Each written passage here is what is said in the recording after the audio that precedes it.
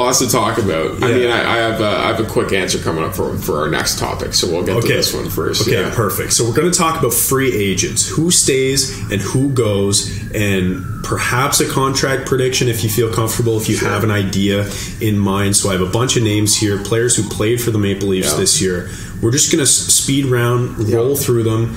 You say if they're going to stay or go, and then if you want, give me a contract Sure. prediction as well. Sure. Number one, Noel Acciari. stays, and I think you want to lock him up for a reasonable term. I'd go three years at uh, two million or less. I like that a lot. That's like locking him into a deal similar to the Jarnkrok deal. Yep. a versatile player, can play up and down your lineup, plays with pace and physicality. Noel Acciari was like the perfect deadline add, and he'll be pretty cheap. So Yeah. I really like that. I also think he stays. Agreed. Um, Zach Aston Reese. Uh, you know what? I thought he did a good job in the role that he was tasked with this year, so I, I think I'd keep him around. I, I, I don't mind him. I'd probably keep him around on a one year deal, maybe a two year, um, at a million or less. Yeah, I Yeah. also agree with that. I think he was a versatile player um, who can play on that bottom line. Again, another player with pace and physicality, Yeah. But he's probably not going to be in the lineup every single Yeah. night. And you want to keep him out of the lineup some nights to make room for other younger players who are perhaps trying to to break in. So I would keep him around if the number is pretty low. Again, about one million or less, because Yeah. you have to factor that in. Do you want to be paying a player, you know, over a million bucks if they're going to be out of the lineup? Probably not. Yeah. Uh, Michael Bunting. Yeah. This is an interesting one. the big fish on here. Um, yeah, this is another guy who who I feel differently about than I did at the start of the season. I ultimately, I guess, to not have a cliffhanger here, I ultimately think he's played his way out. Um, you know, and and not for you know any particular reason other than just he's put up back to back fifty point seasons. Um, good player. He's going to ask for probably you know five plus million dollars. I don't think he's worth that. I think he's probably better somewhere around four. Yeah. But I think somebody will give him that, and I just don't think that fits into the Leafs cap's uh, structure as as it's designed right now, or as it, it appears to be designed. So I think he's just a guy that, unfortunately, um, you know, barring some sort of change in how I perceive his free agency uh, prospects to look, I, I just don't. I don't think it's going to work out. I agree. It's similar to a Zach Hyman type player. Yeah, It's similar to an Ilya Mikheyev, Yep. where you like the player. He brought a lot. He Yeah. complemented the core that you had, but he's just kind of played his way out. Yeah, and, and like I, I do think you know, notwithstanding the the you know the trouble he got into at times towards the end of the season and in the playoffs, this is a player I think they need more of. You know, I think he comes, he plays hard, he plays with an edge, he cares, like he does things the way you know I like as as a you know somebody in hockey. Yeah. Um, so I, I wish they had more in their lineup, but yeah, I think as you've said, he's just he- you know he's kind of in the Mikheyev range where you just wish him all the best. You're a good soldier, and we just got to find somebody new. We got to go find the next Michael Bunting, just like how Bunting was, you know, the next Zach Hyman. Yeah, like we said off the top of the episode, he will look great in Pittsburgh Penguins black and gold. Yeah. and I could see Yeah. that for sure. Yeah. With with Bunting, would you entertain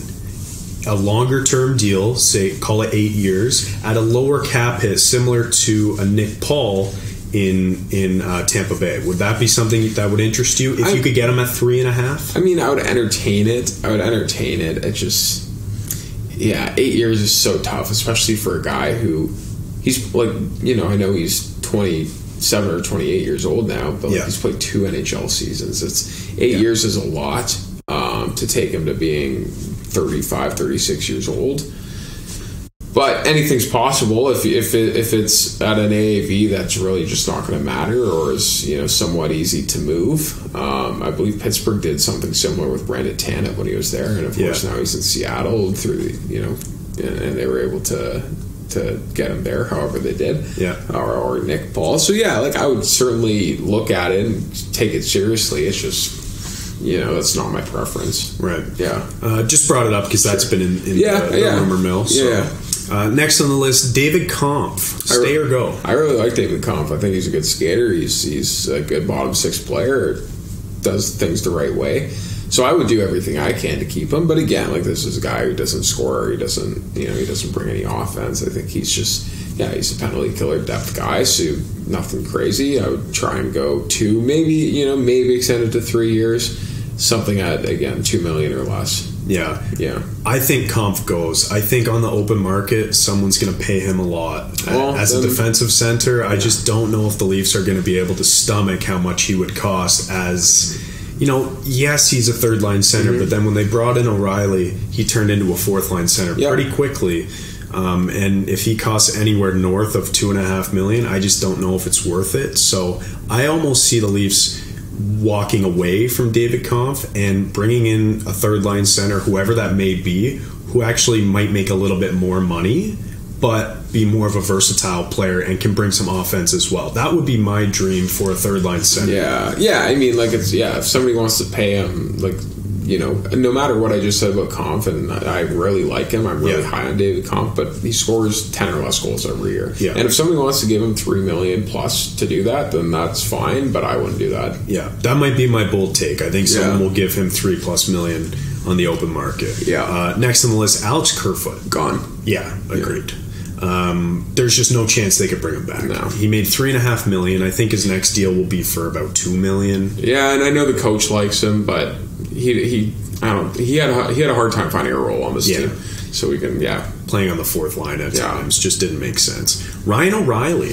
I mean, I would love to keep him, but I just don't. I don't think it's going to work out. I think somebody's going to give him a, a big contract.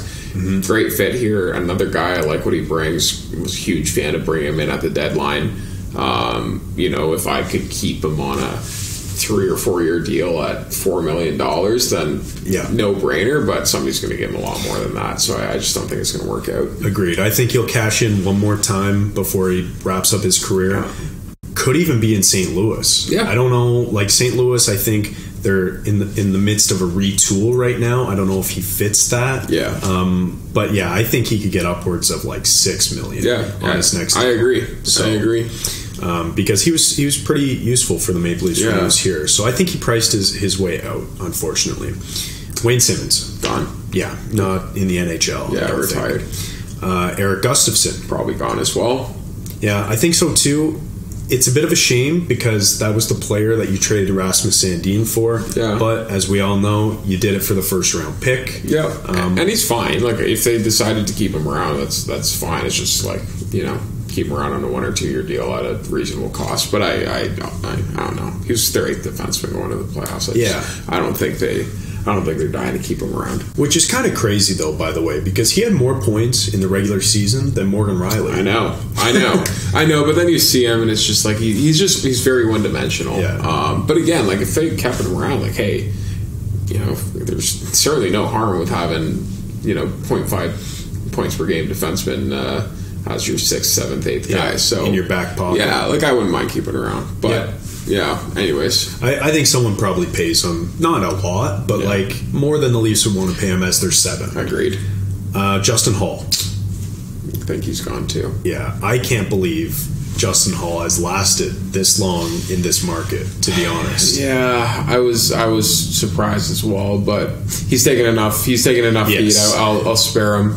Yeah, I know. He, I know he's a good guy too in the locker room. Yeah. All the guys love him. He seems to be a real glue guy, but it just doesn't make sense to keep. him. Yeah, I've, I've, I've honestly, I've been a bit of a Holl defend, defender where I don't think he's as bad as people think he is, and Yeah. and clearly the coach has quite a bit of trust in him, but these playoffs were not good. Even No. even even those of us who may be a little more like neutral on him, like Yeah. that was it was not good. When he plays up in the lineup, it's Yeah. very evident that he should not be playing against top competition. Play him on the third pair, that's fine. But yeah, I, I think he's done in the market.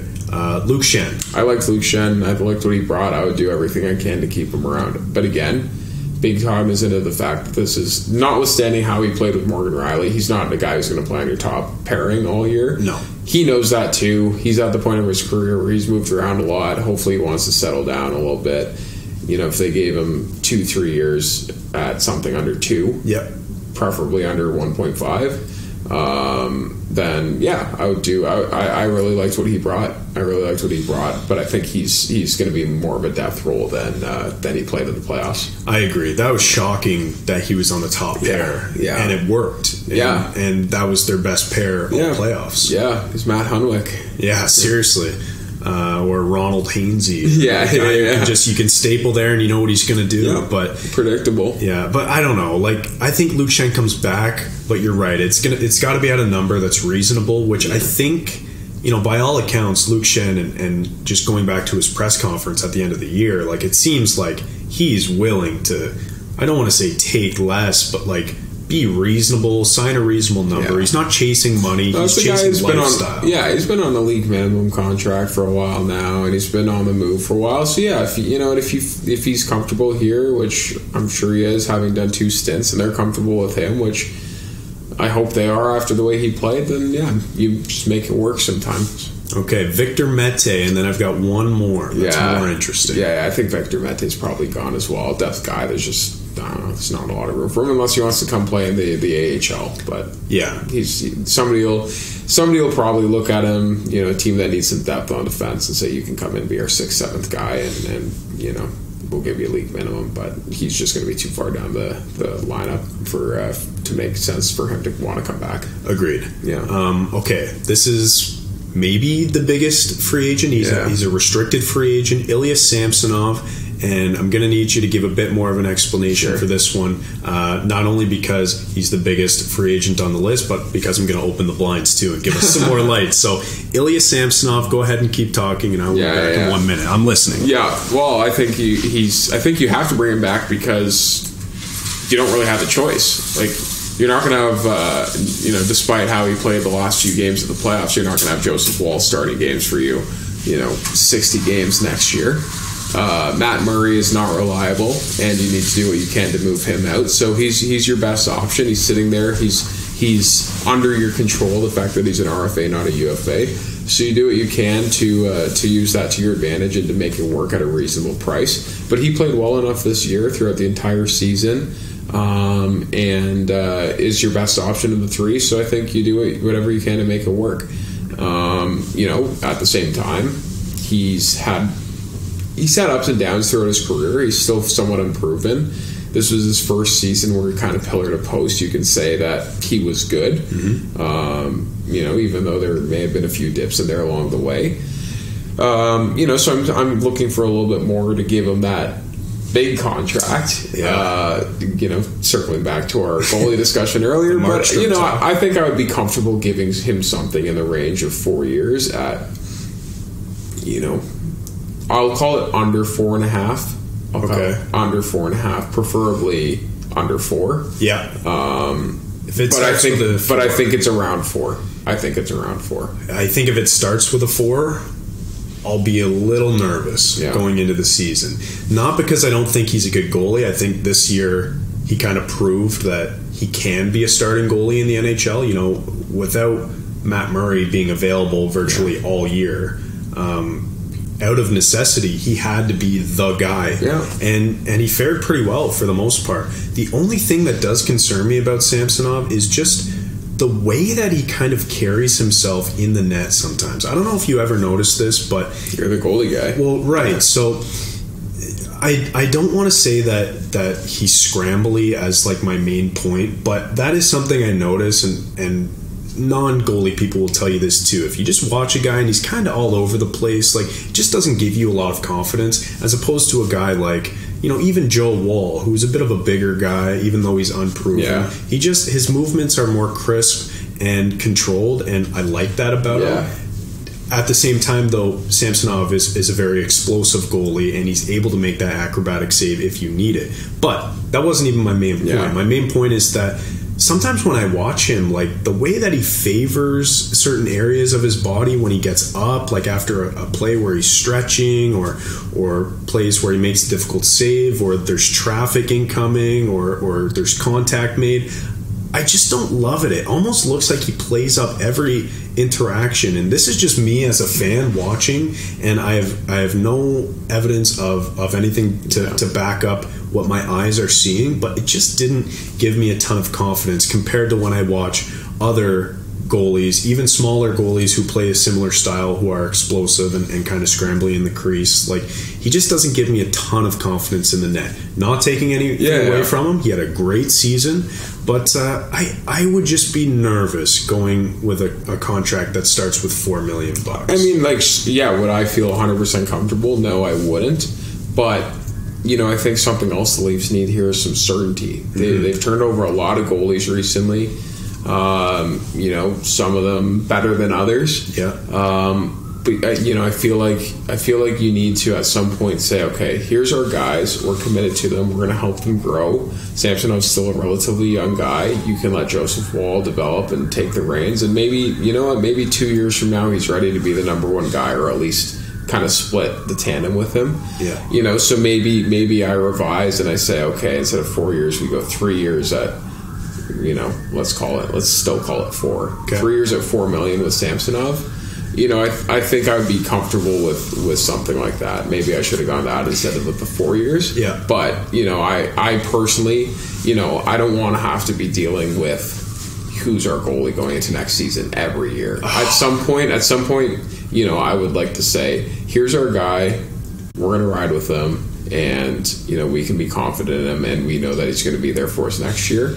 And I feel like he's he's you know through one season earned that respect at not a super long term deal. Yeah. um, but that's just my my thoughts. That makes a lot of sense because that conversation about the uncertainty in net is exhausting. Yeah. It's been going on for the last four years or so, dating back to when Freddie Anderson was the guy. But even then, it was like, okay, who's his backup? Yeah. Is it Curtis McElhinney, who Yeah. was probably the best one Yeah. until Yeah. Jack Campbell? Yeah. Because in between, it was like Calvin Pickard Yeah. and like uh, Garrett Sparks, Yeah. and you know they had a yeah. bunch of guys. So that never gave me much confidence. And then Jack Campbell, Petr Mrazek, obviously, Yeah. neither of those really worked out. Yeah, and, and you know at the same time with this too, it's like you know we'll put we'll put Matt Murray to the side for a sec 'cause I don't think I don't think there's you know much desire to bring him back. No. But Woll has made really good strides, especially lately. He's he's looked good when he's had to go in, but he's also so unproven, and so you know I would also feel nervous, as nervous as I would be if I'm going four years at let's say north of four million with Samsonov. I'd also be nervous going in at a real short term deal, like one or two years, and you know also having Joseph Woll because there's a chance that you know maybe neither of them is the guy, right? Yeah. But, uh, Definitely. anyways, yeah, that that's definitely going to be the, the most interesting one. So For sure. And last year, when we did this podcast talking about our ideal offseason for the Maple Leafs, we had a lengthy discussion about goaltending options Yeah. via trade. John Yeah. Gibson was the Yeah. name that came up quite a bit. Um, and he is still in trade rumors. He has officially requested a trade out of Anaheim. And two other goalies are also being rumored uh, or, or being thrown into the uh, trade rumor mill, uh, specifically at the draft that's coming up. Connor Hellebuyck is a name that I've seen a ton, and Thatcher Demko is a name that I've seen a ton, as well as Carter Hart, Yeah. which, by the way, we haven't been checking our phones. That Yeah. deal might be done. Yeah, yeah, yeah. So there, there are a few names out there. Are, are there any names of those guys who interest you in terms of bringing in a goaltender via trade? Do you think that's even an option for not that I can think of off the top of my head. I, I feel like there was a lot of momentum in that direction last year, just because of you know the fact that Campbell was leaving, Mrazek was not great, which is a bit of a understatement. Yeah. Um, but you know, right now I think, yeah, you have a guy who, notwithstanding him not having a contract, he's he's under your control.